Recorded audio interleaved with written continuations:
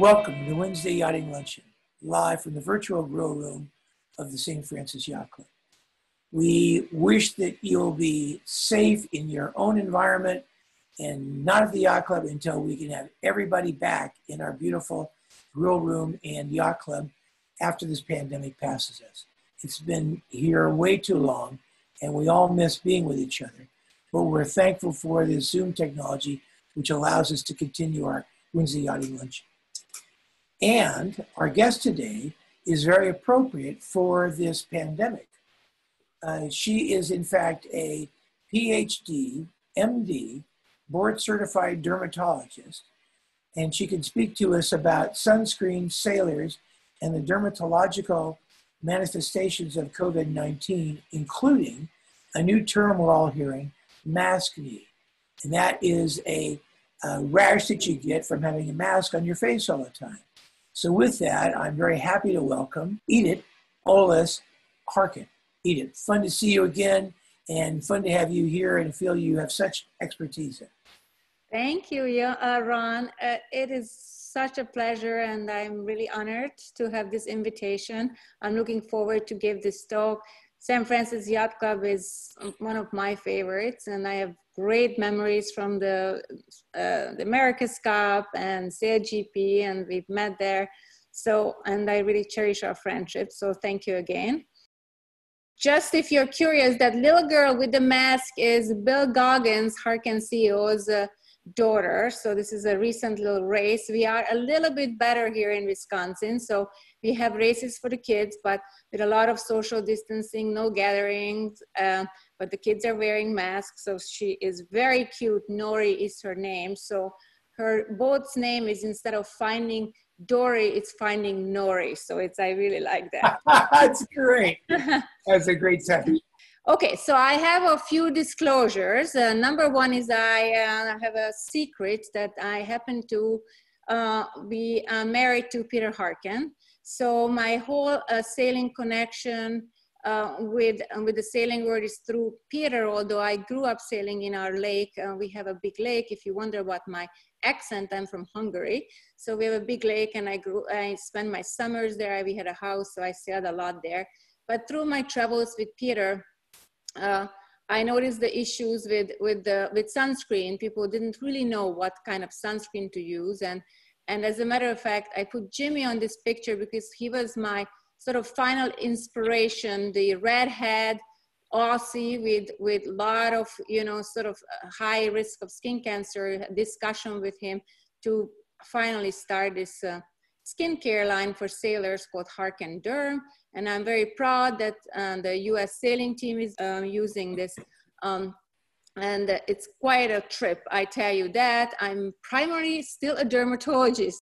If you want to read a little bit of the story, how Harken Derm started, this is a recent article at uh, Seahorse magazine, actually from this year, May or June. And um, this is my second article here, but this is more about the story, about our discussion and why, why he helped me to start the company basically. But today I'd like to talk to you about why sunscreen is such a hot topic and it, uh, and then why ingredients in your sunscreen really matter, uh, the human safety, coral safety, and somewhat about my recommendations.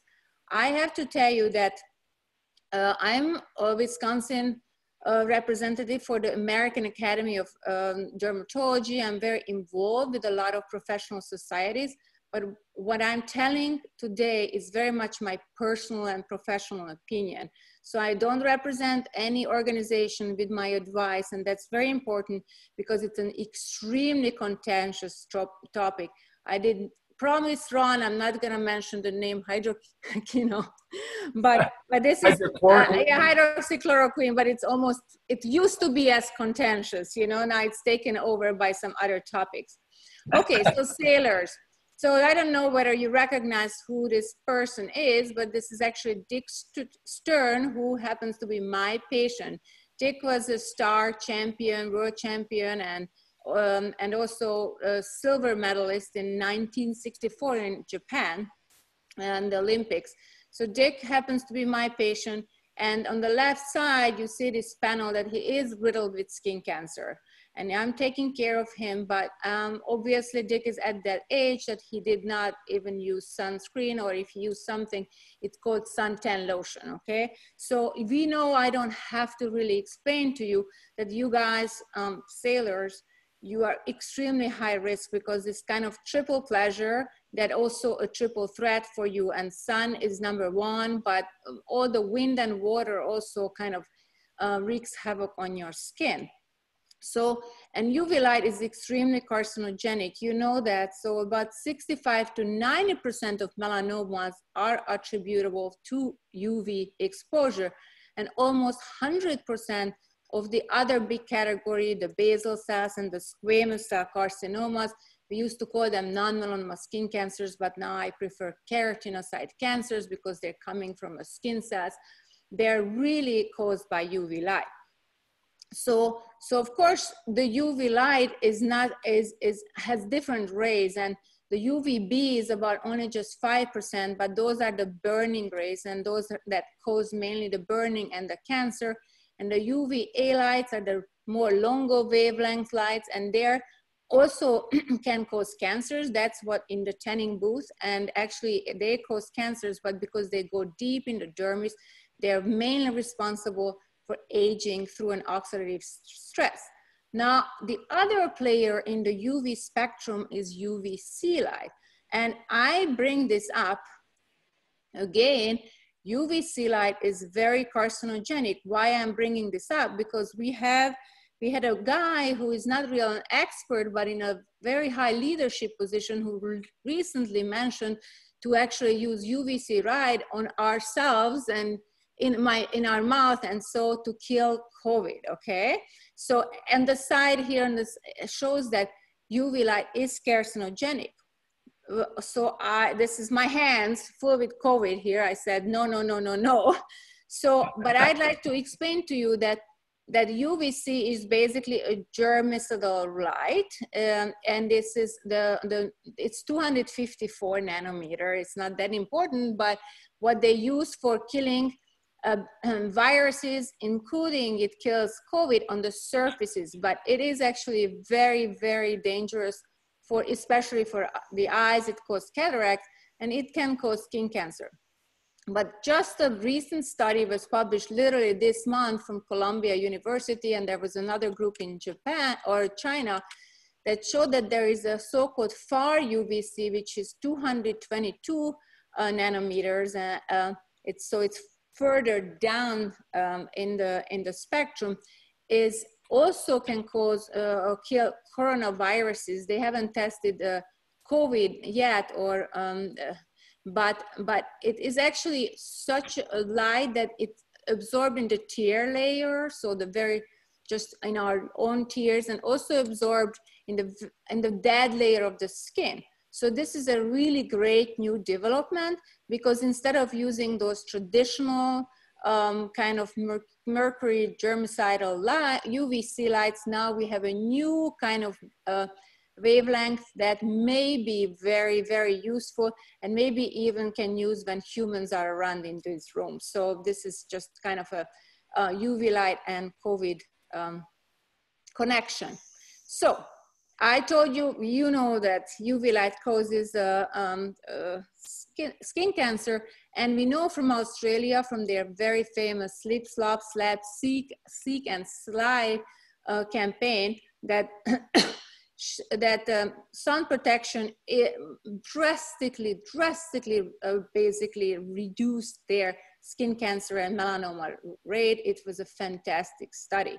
So today, beside uh, promoting all the other sun smart behaviors, what is listed here, I just, I really want to talk to you about sunscreen. It's my passion. I, I really think I know a lot about sunscreen. And I realized throughout, again, my trips with Peters and being on the boats that people had no idea about sunscreens. Uh, I mean, they were like, really, you know, uh, when I turned out I was a dermatologist, I got more questions from sunscreen about sunscreen from Peter than Peter's about winches. So he was starting to get a little jealous. so, so so let me let me talk about why why is is it such a hot topic and i'll give you a little bit of a timeline okay so 2008 may and that was actually the same time we launched our sunscreen um, there is this new ban came out from thailand to ban two ingredients oxybenzone and octinoxate starting 2021 and it, it's sunscreens usually expire in two two years so that's why they kind of it's a later start point. point and then palau and key west and a lot of other kind of uh, um, areas um, the us virgin island uh, basically followed suit then uh, articles came out that sunscreen chemicals found in, in bay chesapeake bay oysters so, and then subsequently, and I will talk to, about the FDA, the FDA came out in 2019, uh, its new kind of um, OTC sunscreen monograph proposal. And this proposal created a huge buzz because it was talking about certain ingredients that are safe, certain ingredients are not safe, so it was the, exactly the time as my academy meeting. So as in the middle of it, Tyson, it became a huge battle and very controversial topics and lobbying between industry, uh, FDA, dermatologists, and so on. So there were a lot of articles about it, and this article in was sent to me by all my friends that is sunscreen not the new margarine because sunscreen is harming us more than uh, than helping us and so on. So again, very, very, very hot topic. Uh, uh, so I will tell you uh, what happened and I will tell you the data. And again, it's my opinion. It's not a professional organizational opinion, okay? So the right, right picture here, this is a picture I took on one of the boats I sailed a while ago and this is what you find. You go on a boat and there's like all these sunscreen either in a basket or in a drawer or on a table. Half of them are expired. How are you going to make a choice? How do you know what you're using is right? And this is again it saves lives. It's a very important important um, over the counter drug that i don't think people know really what they're using. So um, do you know what is what's in your sunscreen? And i ask people all the time do you know do you know how to how to distinguish what you're using is right or wrong? Well in america we are actually pretty lucky because the um, food and drug administration requires on the labeling to separate the active ingredients from the inactive ingredients. So if you look at the back of these labels you see that we actually can find our active ingredients and those are the UV filters. As opposed to Europe, uh, where, where, sunscreens are not regulated as a drug, uh, I tell you that ingredients are listed based on their concentration in, the, in that um, product. So guess what? It always starts with aqua, so water, and somewhere in the middle, the ingredients are hidden. So I gave a talk to my colleagues in Barcelona last year about this. And I tell you that Europe, European dermatologists are even less now knowledgeable sometimes because they have no clue how to find those ingredients. On top of it, I gotta tell you that there's different names in the, in, in the US and different names in Europe, and the names are extremely difficult to pronunciate and remember. So so, so again, what I would like to tell you why ingredients matter and why you have to turn around your tube or your bottle and look what you're using. Why does it matter? Because what you're using, these active ingredients are going to basically uh, prevent you from the UV light that has biological effect. So the UVB is mainly what's causing burning, UVB causes and UVA tanning, and then there is the UVA that causes a lot of oxidative damage through free radicals and causes aging. And then both the UVB and the far UVA light cause immunosuppression locally in your skin. So it's very important because that's one reason you shouldn't be on the light when you had melanoma because it's locally decreases your immune defense around your melanoma or old melanoma. And if you have any cells that escape, you don't want your immune system to be suppressed. So if you look at this uh, chart, this shows that certain filters cover the almost the full spectrum of UVA and UVB light, as opposed to, and these are the so-called mineral filters, and I will explain to you the zinc oxide and titanium dioxide.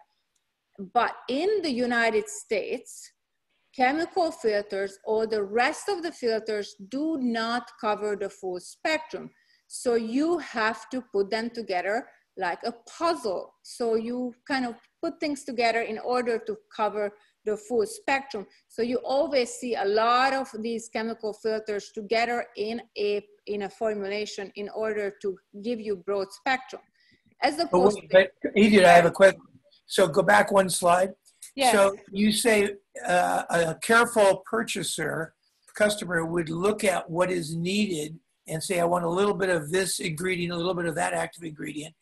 But wouldn't one postulate that you've put together the correct active ingredient combination or others that you recommend have put together good combinations? Isn't there one sunscreen that has the appropriate coverage for a person going outside, going sailing in a sunny day? Ooh, Ron, that's a very complex question. Uh, so, okay. Uh, uh, yes, you you you would you would think that people, the manufacturer of the sunscreens will put will give you the best best coverage possible. The, the there are two issues. One is this that no, uh, probably three issues. One is the SPF only measures UVB, okay? Because SPF is measured by burn. They're looking at how much you can burn with or without the sunscreen. So and and it doesn't really measure the UVA protection, which still can give you skin cancer and still can give you aging. The other problem is that there is some cosmetic um, sort of uh, uh, consequences of what you're using. Those filters that are really good right now in the United States, sorry, I went somehow back. So those titanium dioxide, they're white so it's eh, they have that white cast so it's and i tell you they're very very expensive and difficult to formulate in a cosmetically elegant formula. So if you want those filters it's going to be a more, more expensive sunscreen as opposed to the chemical filters are very very cheap and much easier to formulate. So eh, they are they're they're much easier to, to, to basically, it's cheaper and easier and they're cosmetically more elegant because more transparent. But there are issues with those chemical filters, which I'm gonna talk about. And also sometimes the, in the United States, we have only one chemical filter called avobenzone, which actually covers UVA light appropriately. So don't even buy anything else that doesn't have, if it's chemical avobenzone. So it's hard to really have a very good spectrum with chemical filters.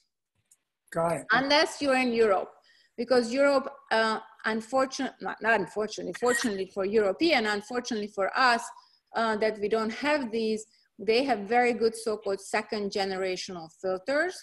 And the second generational fin also Tinosorb S, which I think will be the first one which comes in here if they bring them in.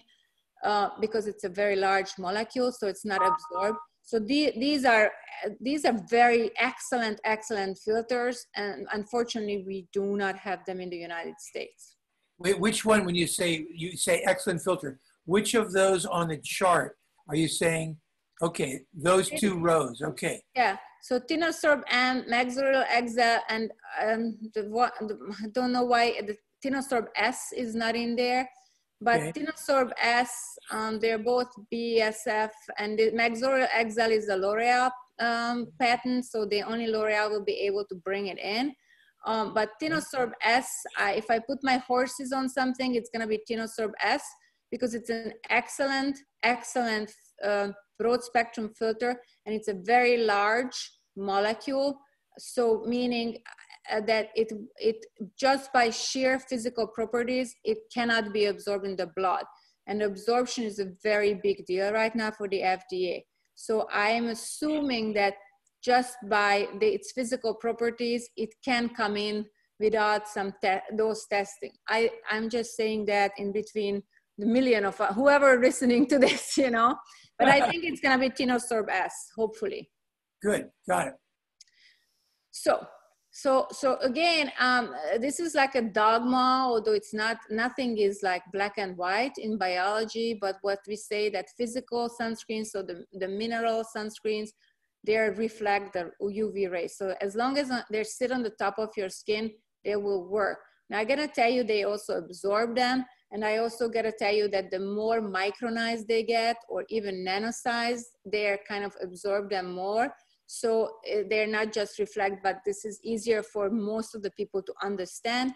While the chemical sunscreen, they absorb the light and they go through a conformational change and they also create some heat on the surface because they turn the UV, uh, the, the energy of the photon to, to um, thermal energy. And, um, and some of them, because they're changed, they also can be very um, deactivated by the sun. So that is one of the problem with them. Okay, so one more time, it's kind of showing how zinc oxide has the breast coverage. Titanium dioxide is a very good UVB filter, covers a bit of UVA. Oxybenzone, I'll talk, talk to you. This is actually covers a good range of B, a little bit of A, but it's not a perfect filter. The rest of our chemical filters are all B and avobenzone is the A and the shirt is the best sunscreen you can have. And I tell that to my patient. And again, it's just for fun fact, Ron, guess what? Which shirt is the best for for sun? Long sleeve. yeah, that's true. But actually, jeans. oh, really? So can we go back to that chart? Where yeah. carcinogenic? Which is worse for you? The um, 290 um, bandwidth or the 400 from the left to the right? Which is worse for? Yes, definitely this one here for carcinogenesis. Okay. Okay, so okay, this is going, but if you're using a UVA tanning booth, you can, you know, it increases your risk of melanoma. UVA increases the risk of skin cancer by an oxidative induced stress but for real carcinogenesis, definitely UVB. And that's what SPF actually matter, uh, measures, okay? Okay, got it. Okay. Um, but still, if you don't want to get the be a wrinkly sailor, then then you should use the UVA protection too. And okay. again, it does cause skin cancer. So let's talk about safety. And this is Popeye. You know, again, it's like this is a this has been a really like, okay, what the heck is going on? We have no idea. Uh, this is kind of became a very new topic. So a little bit about how this, how, what happened with the FDA and why we have such a problem with sunscreen in this country and we don't have those good sunscreens I mentioned. So again, sunscreen is, is regulated as an over-the-counter drug that you can get without prescription. And uh, and the original, the most of the sunscreens were grandfathered in in the 70s. So there were no testing, no ruling.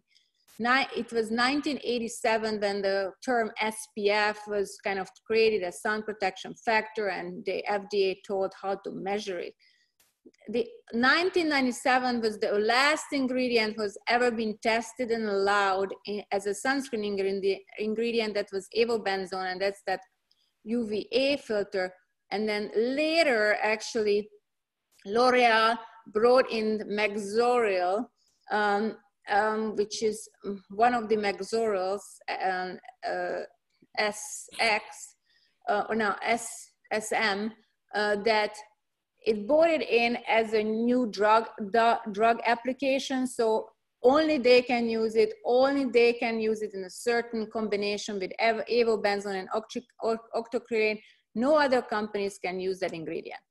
So 1999, when the FDA came out with their first sunscreen monograph, and 11, they had the final rule labeling. And, and then the Congress is getting really upset because there were eight of these very good ingredients from Europe were pending for application uh, since basically 2002 to 2009 and nothing happened. So the Congress enacted this so-called um, Sunscreen Innovation Act and they said the FDA has five years to come up with the final monograph and bring in these filters. So five years expired actually 2019 November, and uh, and uh, 2019 February was when the when the FDA came up with this kind of proposed monograph, and it's created a huge uproar. Okay, why is that? If you go down there, because they said um, that only certain ingredients, only the mineral ingredients are generally recognized as safe and effective. So zinc oxide and titanium dioxide, two ingredients they mixed, and the, all the rest of the chemical filters, they said that there's insufficient data for use in sunscreen. So the issue was that it created a big uproar because they said um, people thought they were not safe and not effective, you know? And they're effective. We know we've been using them for a long time, but the FDA questioned their safety. they did a lot of other things. What they wanted to change, um, discontinue powders, changing SPF 50 to SPF 60, and so on and so on. But this was the biggest deal, and the industry was up in arms and crazy about this and tell you the dermatologists, most of the dermatologists split. Some totally agreed and some, to, some sided with industry, but most of, uh, we were really afraid that this will trigger those articles such as is sunscreen the new margarine and people will stop using sunscreen and it will create a new epidemic of skin cancer. So at the end, we were kind of afraid. So what are we talking about? Mainly, we are scared about oxybenzone. And oxybenzone is not only in sunscreen, but in a ton of other ingredients that has some SPF in it. So, so moisturizers, makeup, foundation. So a lot of people are exposed to sunscreen or the oxybenzone. And then the FDA, as a matter of fact, itself hired researchers and said, you guys, you don't want to do these studies. We've been asking you to do these absorption studies. We're going to do it on our own. So what happened is they did these so-called MUST studies, which is um, which stands for um, maximal usage trial. So what they decided, okay, so our guidelines is to use a sunscreen and reapply it, reapply it every two hours. So if a person goes out on the beach in Hawaii for a full week of vacation and they will follow the guidelines and they're using a sexy bikini or then they will apply that sunscreen 75% of their body surface every two hours. So that's what they did.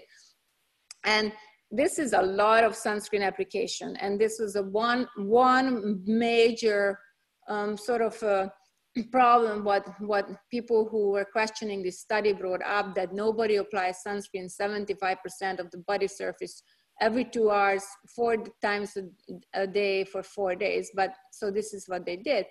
This is a complicated site and i i don't want to go through this. I just kind of look at it from far away. All i want to show that the fda says that anything which is above 0.5 nanogram per milliliter concentration, which is this line here, you know, uh, okay. uh, has to be studied. Okay, that is anything below is I we don't care about it such a, minuscule amount.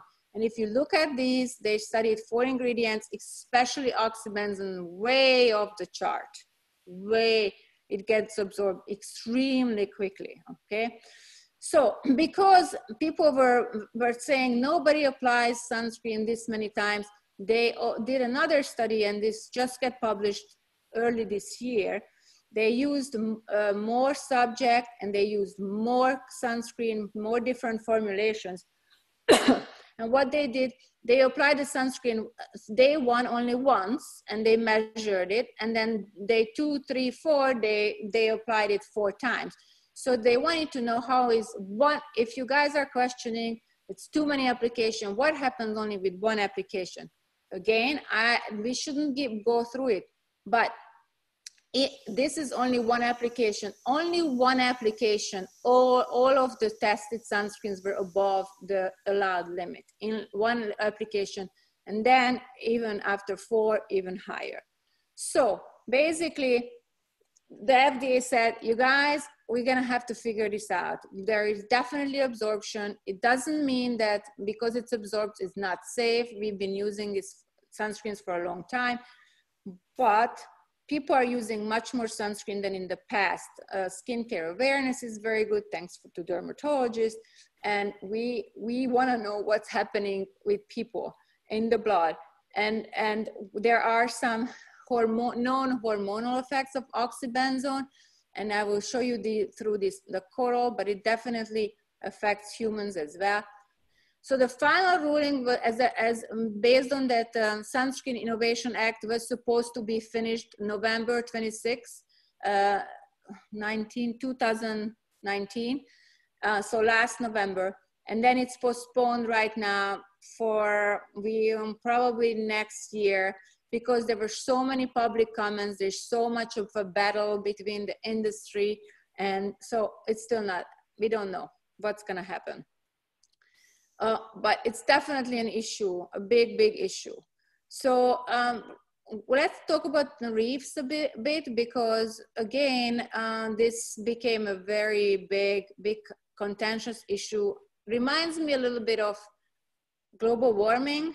There is a lot of totally good data that that uh, uh, you know carbon monoxide dioxide uh, emission does matter. And but people say oh you know we have a big earth and concentration is not high enough. And there is it become it became very much politicized.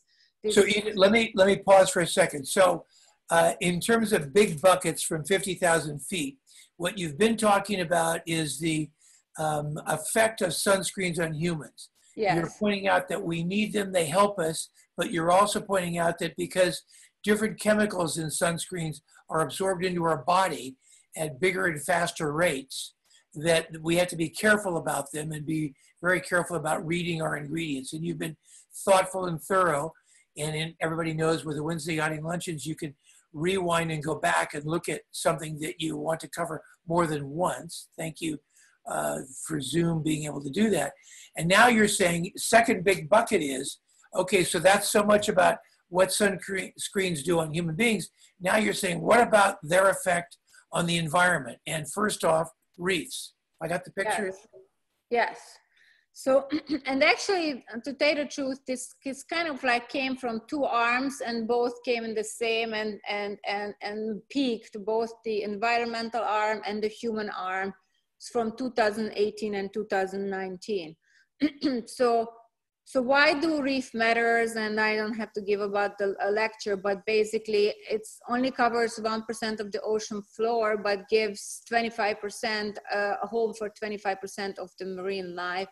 Economically, they're, they're, they're worth trillions of dollars. They're very important for us and, and for the oceans. And of course, bleaching has been a problem and and we know one of the major cause of bleaching is temperature increase and pollution. Um, and and this is what is of course one of the issue that that um, people don't believe in sunscreen harming the corals. They they say it's everything else but the sunscreen.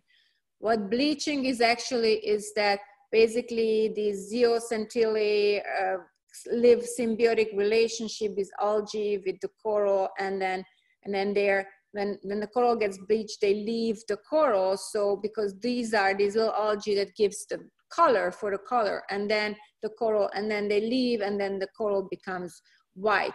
Now there is a spot then there is this spot of no return, but before that actually they can go back, repopulate the coral and then the coral can uh, grow and, and live again. So wait, let me pause for a second. So what you're mm-hmm. saying is that when we see a colorful coral, that is that color comes from uh, the algae which is living on it and yeah. existing in the colony on top of this uh, bony substance which is the coral.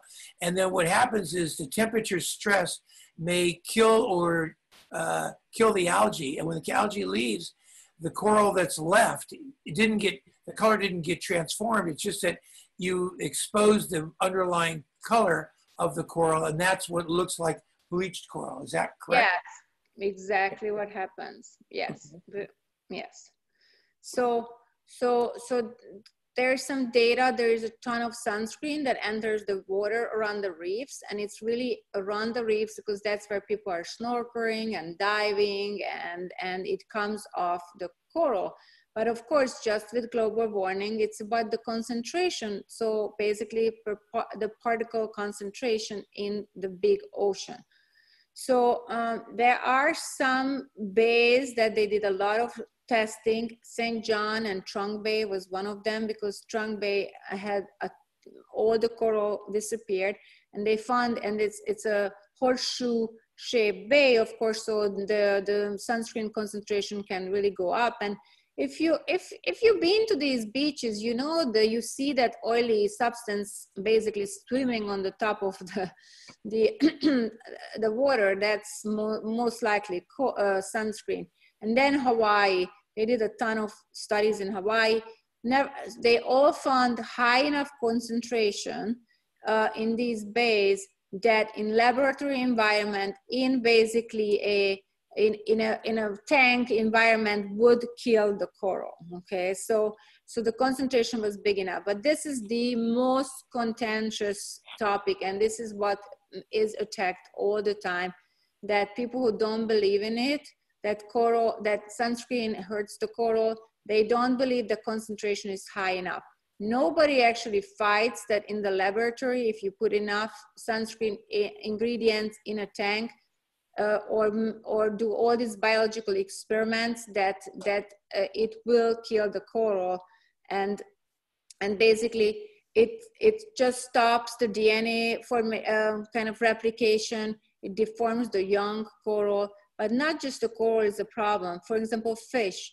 It can decrease the fertility and reproduction. So I always tell it's like a hormonal like a birth control uh, pill for fish you know, uh, Ron, there are those fish that can change their gender based yes. on the based on how, whether they have to be the male or the female on that um, uh, group of fish, and they all may, um, became female and they cannot change back to males. Okay, so so muscle is a big problem, but we can, can induce that uh, defects in the young mussels, sea urchins. So there is a lot of marine biologists that study this. And I actually talked to NOAA uh, and talked to the coral representative, coral researchers, and they absolutely have a vast amount of data and research accumulated that in a laboratory environment, definitely these ingredients are very, very harmful. So the question is right now of the concentration.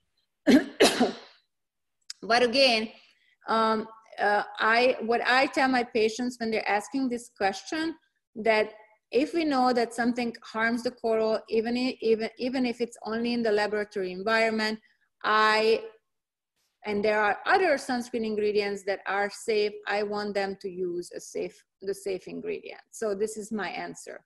And this is still going up. They just overturned the ban in Key West, so there is a lot of lobbying, okay? So the other thing is the, the spray sunscreens, just one little blurb about that. We dermatologists hate it, although that's the number one formulation which is sold in this country. But they did measure that spray can uh, travel like 450 meters.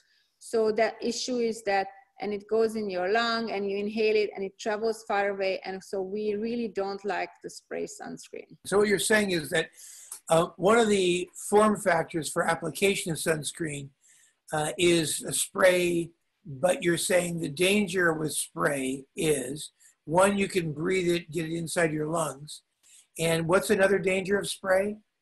The other danger, the application that there's, for example, this uh, little, you know, window I have it in my slide. This is yeah. when you just boop, boop, run after your kids, you know, and you just spray, spray, spray. You and don't rub it in and you don't distribute it. This may happen.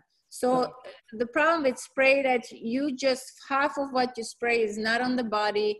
Uh, it's if you don't rub it in, it's just it's it seems like an easy application, but it's not efficacious enough. Got it. And it travels far, and then you can inhale it. Yes. So our viewers who do use a spray, even if we can't dissuade them from doing so, the the key is don't let don't overspray and be careful to rub it in after it's on your skin. Or you can overspray. I mean, you can spray as much. The more you spray, the better it is. But spray it close to your skin and rub it in, or spray it in your hands and then rub it in. And don't like just do it like a hairspray. Got it. Okay, so so one more thing I want to mention here too, kind of on the side a bit, but but beside that, you know, again, zinc oxide and titanium dioxide now we know are reef-friendly.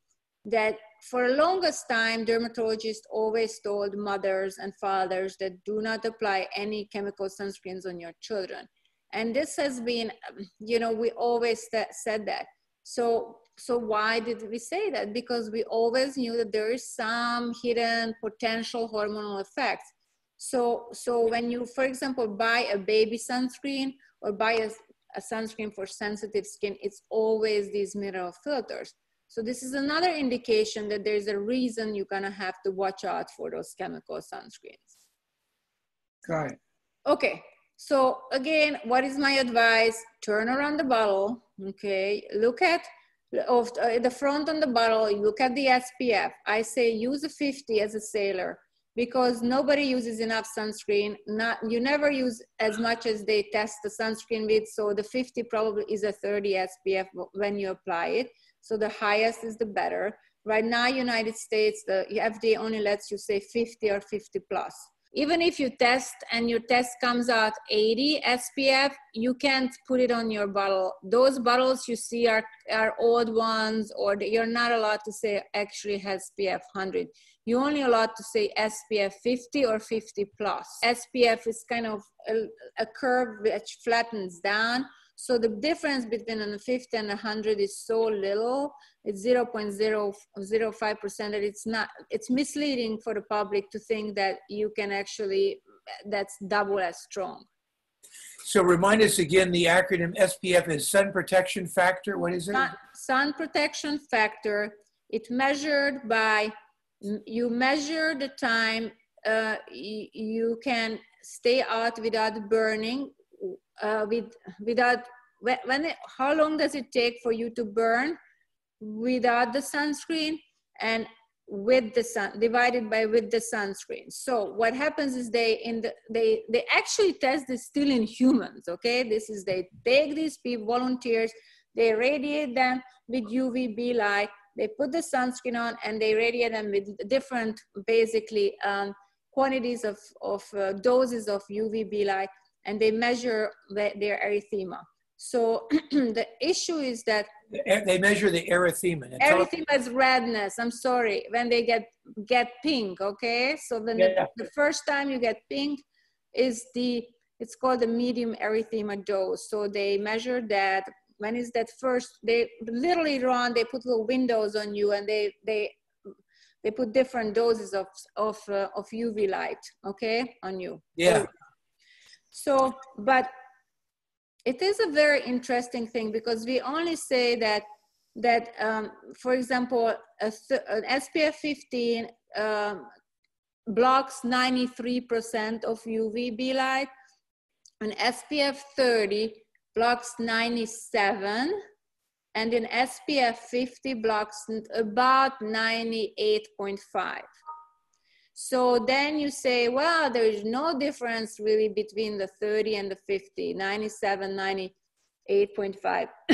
it's kind of true, but what I say to people that reverse it, there is 100 UVB rays getting into your skin. If you use a you use a, um, a 30, there are three rays still going through and causing cancers. If you use a 50, there are only one and a half rays. So cumulatively, if you go out and you're out there from 10 o'clock to 3 o'clock, so five hours, strong sun, every millisecond there is a UVB ray hitting you, that it means like your exposure is doubled between a 30 and the, and the 50, you know, about the 50. So that's how you have to think about that. So instead of instead of three rays, uh, you know, you can decrease it one and a half rays, and that that uh, reduction does matter. So uh, I'm look. I love looking at your label over here. It says broad spectrum. You mean the UV spectrum and the UVB spectrum? Is that what you mean by that? No, broad spectrum means that it both covers not just UVB light, but also UVA light. That's uh-huh. broad and that's good. That's a favorable. That, that's a good one. And anything but is a 50 is supposed to be broad spectrum. But I tell you that some sunscreens don't have a very good UVA coverage. You don't burn, but you still get that grayish tan and you still get the aging grays. So it can be misleading. Some sunscreens have a high SPF, but still not very good UVA coverage. And you don't really know about it because you don't burn and you think, oh, you have a very good sunscreen.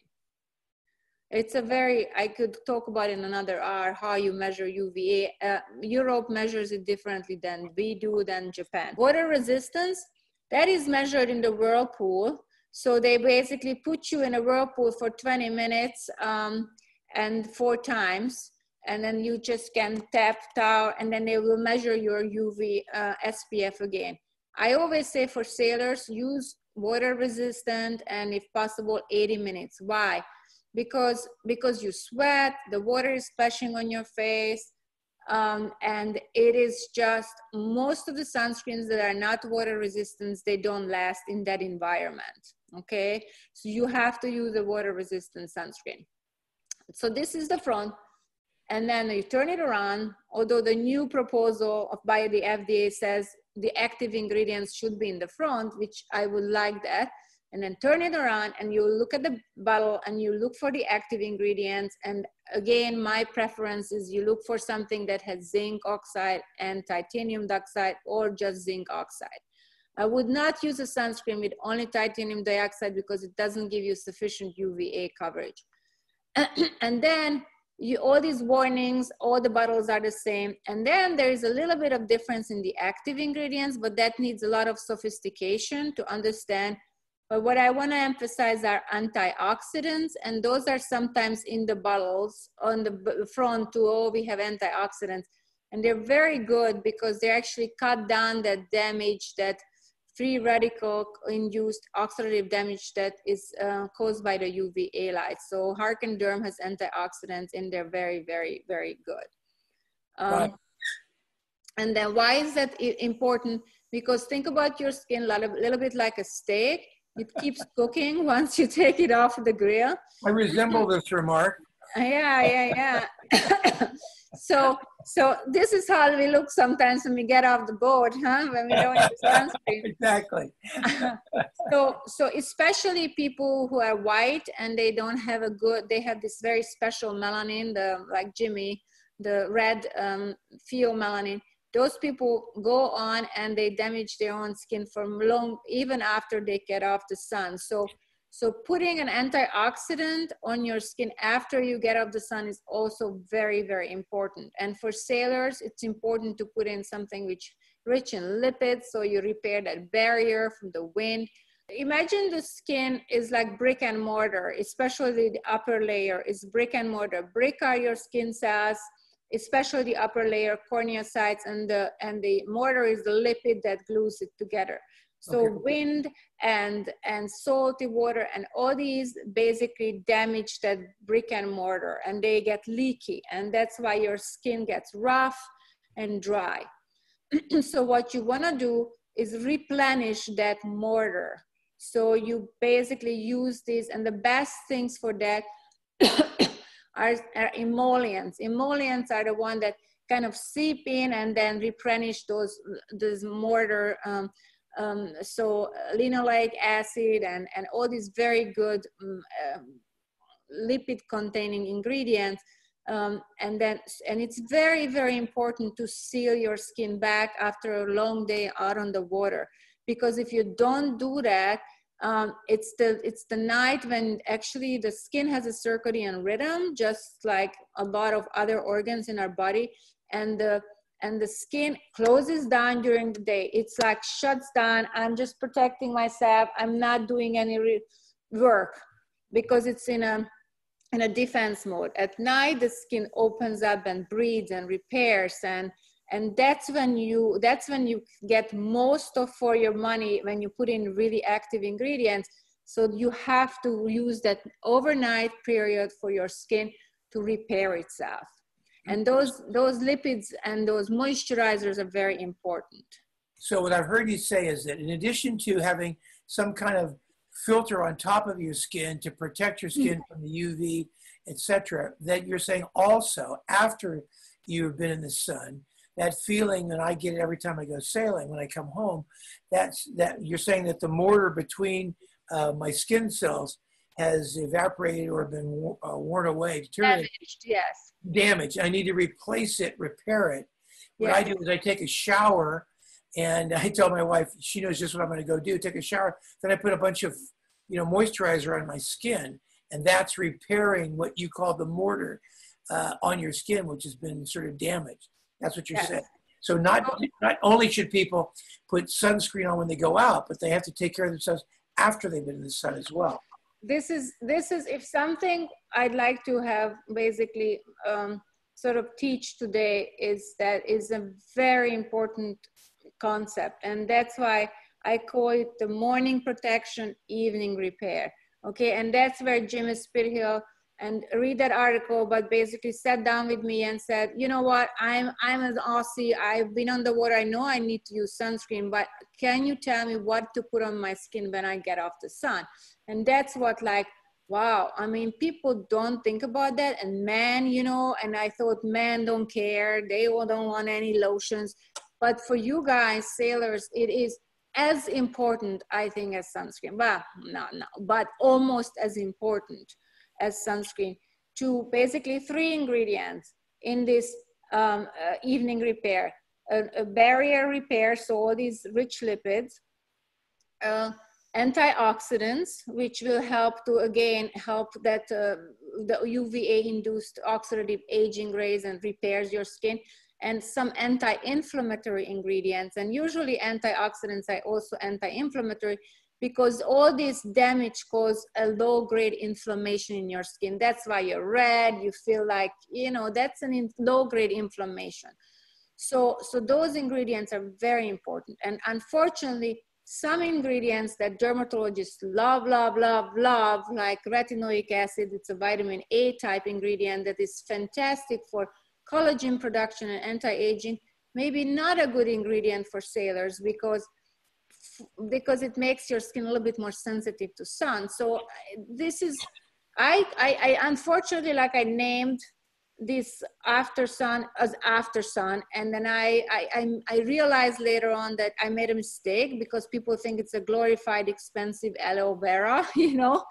And they think it's for when i get burned. I'm like i hope you don't get burned with Harken Derm so i should have just say like evening repair for sailors but but but this is this is i try to under, make people understand that i created this because this is a two-step solution you you both need both for for be as handsome as ron right now at his age so okay. um, wonderful so basically one more time. And not the, like this guy. You don't end, you don't want to end up like old salty sailor you know? So um and again you know i uh, so all i wanted to basically tell you that these human safety studies are ongoing but certain chemical filters may be helpful. Zinc is is in the United States, and please understand, in the United States and on white skin, white skin is much more high risk for skin cancer. Zinc is um, oxide is still right now my favorite ingredient to use.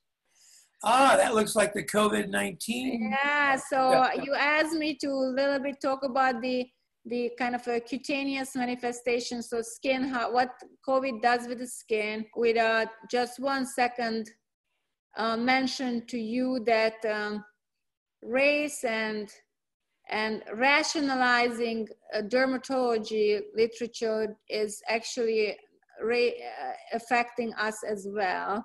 This article was just published and it's an interesting article.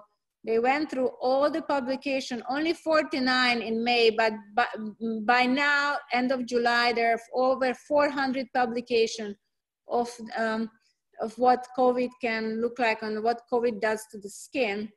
And then, uh, hold on, I have to check or have to.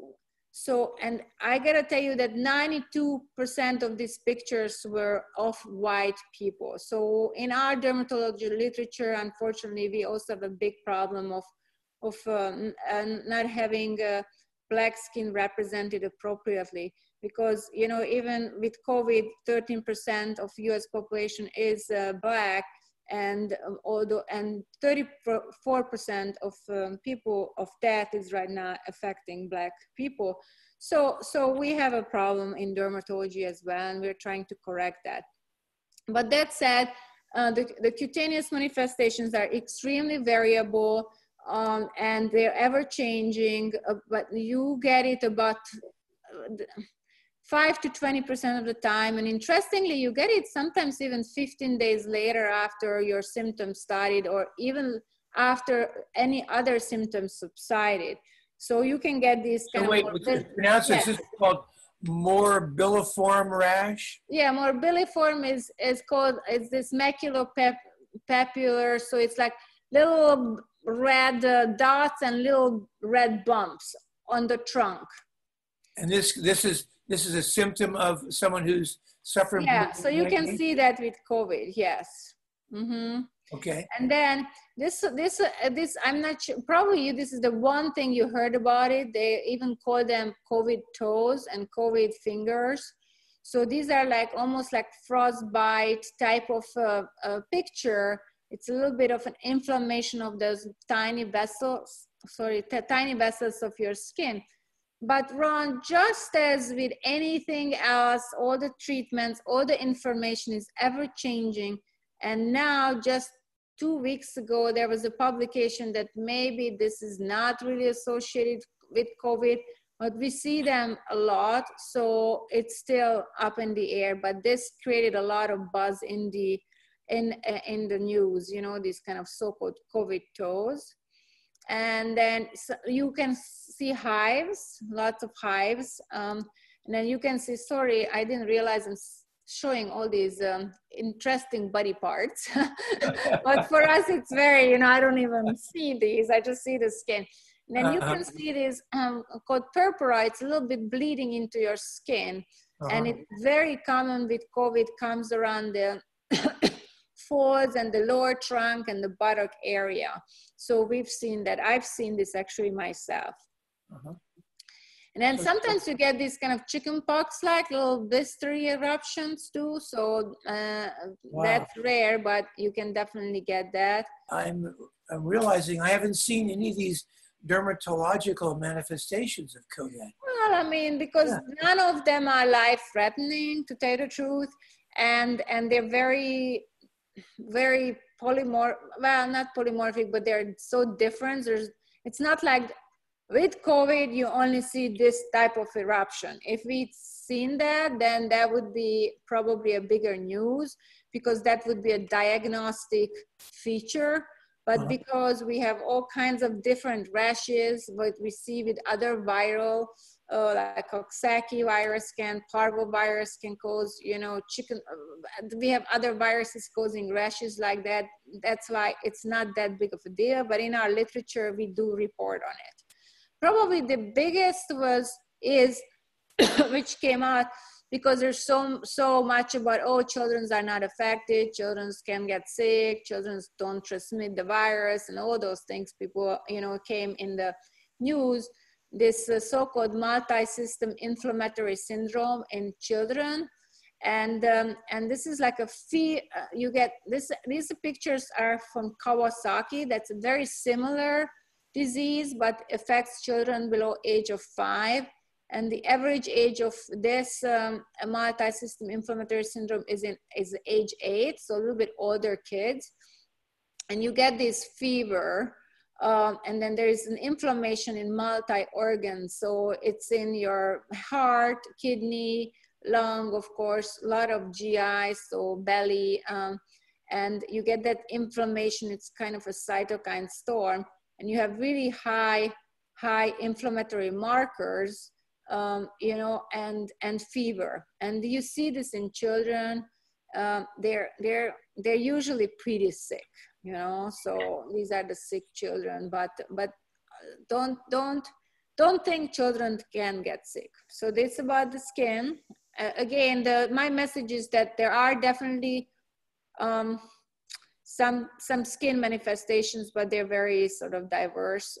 Uh, are one of our one of our res. Uh, I'm breaking HIPAA here. Uh, close somebody to me uh, um, had COVID, and he said he felt like his just skin was tingling and on fire and very very sensitive. So it was just an in, in, interesting observation.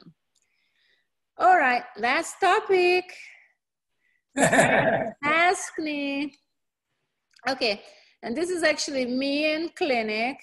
Um, and then this is one of my patients, and he he uh, consented to use the picture. And this run is a mask, which is pretty giant, but this is a mask where Harken was sewing for a while as a, and donated a ton of it to our hospital.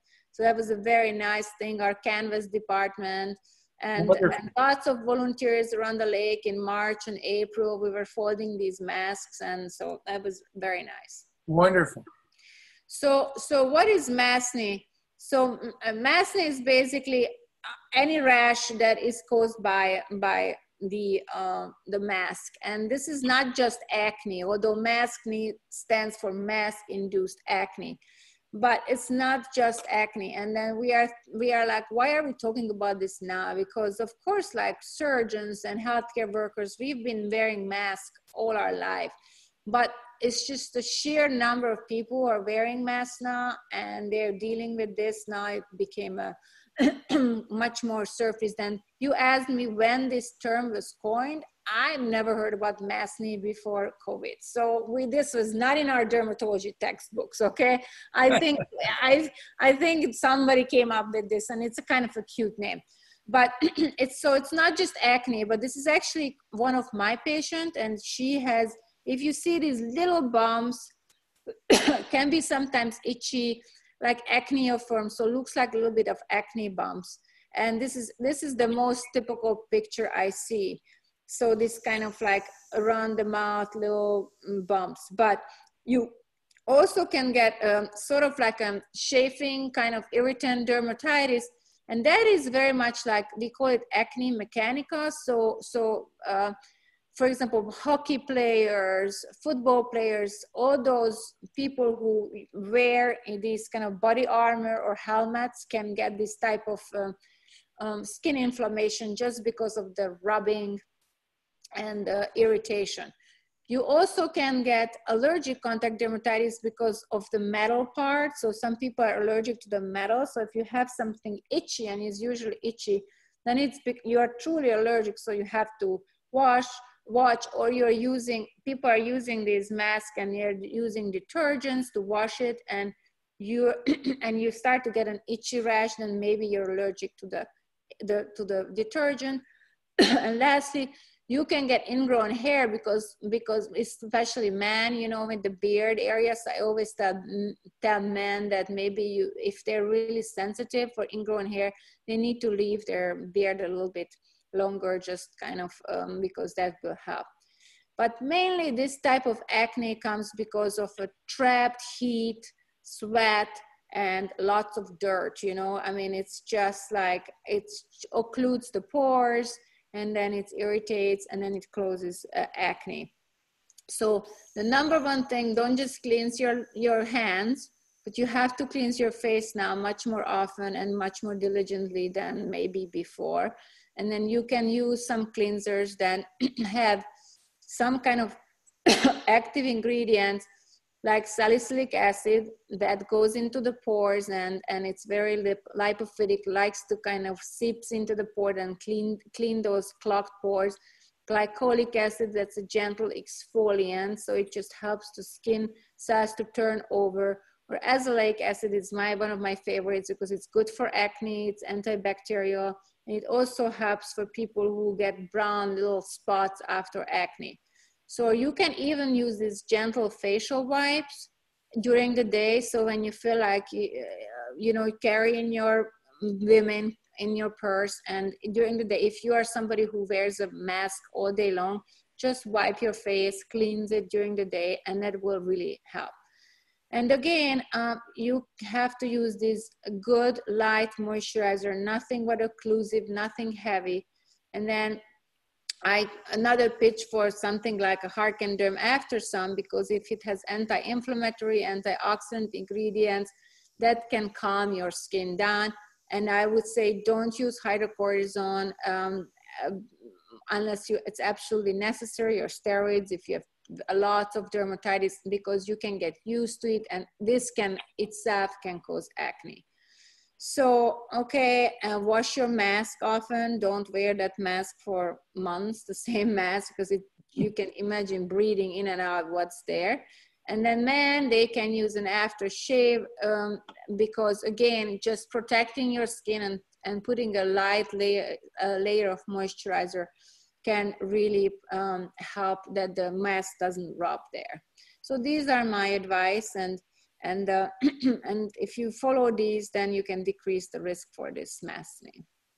Okay, and then my last one is of course, please, please wear your mask. Um, we all know how much um, it really decreases uh, the um, transmission. And that would be it. It's Great. cut my talk a lot, but um, but thanks, Ron. This was fun as always. Great picture of you and Peter in the BVI. That's a nice picture. Yes, it was one of our favorites. But we love it down there. We're very happy. As long as we're on a boat, we're very happy. Great. So, a uh, couple questions. How many days a year are you on the water now? You're married to, you know, the greatest um, winch maker in the world, and hardware maker, and Peter's sailing all the time. We've been places together. So tell me, what, what, how many days a year are you guys on the water? Not enough. Um, pick a number 30, 20, 80, uh, um, well, I would say maybe uh, altogether 30. How many, how many, how much time does it take in the morning when you put on uh, when you're about to go outside, do you stop and put on some sunscreen then, or had you put it on earlier in the morning? What's your routine? Oh, sunscreen is my my skincare routine, so I have to put it on every day. Every day, no matter where you're going to go. Yes, because you get a lot of UVA through the side windows, and I have about a good 20 minute ride, so um, I put it even in the winter. And then uh, when you come home after you've been on out on a say sailing, out of the water, uh, do you then go, well, what is your skin routine when you come home? Okay, so I use a, um, a solution which is glycolic, salicylic, and azelaic acid, or sometimes if I have makeup, I use a, a wipe, a very actually promoting something here, but called Simple. It's a it's a simple wipe, okay, to remove my makeup if I have makeup. And then I use that solution. Um, and then, you know, I use Harken Derm.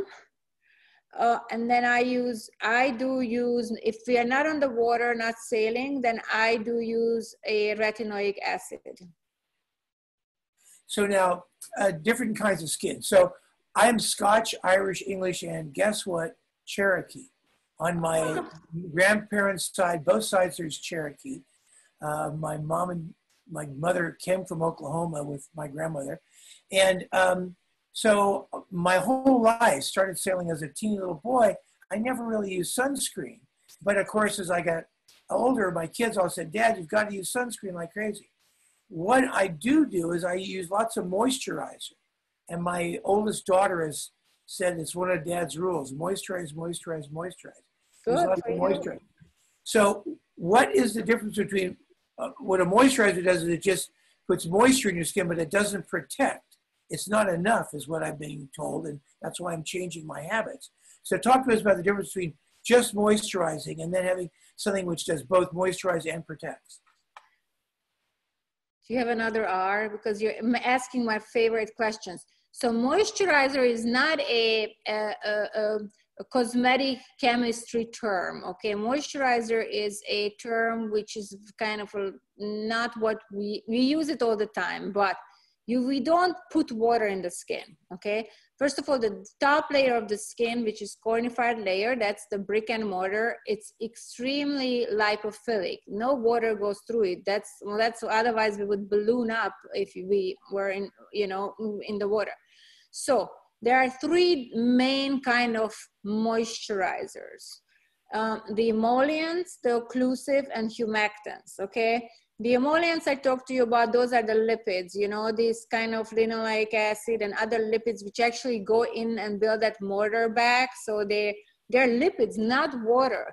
And they replace that glue because it's like a seal. Just think about like a saran wrap, okay? Then there's the occlusive. The most famous occlusive is Vaseline or petrolatum, okay? And that's nothing else but a thick layer of this petrolatum that seals the skin. So doesn't let anything to leave, doesn't let anything to go in. And most importantly, there is this thing called transepidermal water loss. When you have a damage in your skin, you lose water from inside out, and that's what makes you dry. So what petrolatum does, that seals it down, the water kind of gets trapped, so you naturally feel more moisturized. Your skin gets Mm, uh, because it keeps that water. The last thing is a humectant. The humectant is like a sponge, okay? And the sponge basically draws in water if there's enough humidity from outside and brings in and basically plumps up the upper layer of the skin. And those are, that's like glycerin is the most famous humectant. And it is if it's humectants are perfect if you have enough moisture outside but maybe in colorado those are not the best moisturizers okay? Because sometimes it can draw water out from inside of your skin. Sorry i gave you a much more complicated answer that you wanted but basically it is you there's many ways to so-called moisturize the skin and and there is a science behind it. But basically the best moisturizers have all, almost all these ingredients. Have a little bit of emollient a little bit of humectant maybe a, maybe some occlusive. You have to be careful with that sometimes but the best moisturizers have it all. So edith Olasz Harken it's been wonderful having you as a guest on the wednesday yachting luncheon uh, you come from a long tradition of really pardon the term but brilliant hungarians uh, I'm reminded that Bela Bartok, the musician, George Soros, the financier, Edward Teller, the scientist, and an investor in one of my companies a long time ago, Andy Grove, were all Hungarians, and uh, they all have that fun accent that's uh, so charming. And of course, in terms of women, uh, Zsa Zsa Gabor, one of the more famous women in history, is also, of course, comes from Hungarian. My grandfather dated his her sister. Yeah. Oh, Eva Gabor. No, Magda. Oh. Actually. The Gabor sisters. They were very, very famous. Yes. So um, it's wonderful to have someone uh, with such a great, vivacious, and attractive personality and such an incredibly great brain as well. Thank you so much for sharing your knowledge and your charm with us. And uh, we hope that it's helpful for all of our listeners. And um, uh, I'll see you some more on the water and the clubs. And in the meantime, uh, uh, we're going to adjourn the Wednesday Yachting Luncheon. Thank you so much. Thank you, Ron. Thank you. It was fun. See you. Bye. Bye-bye.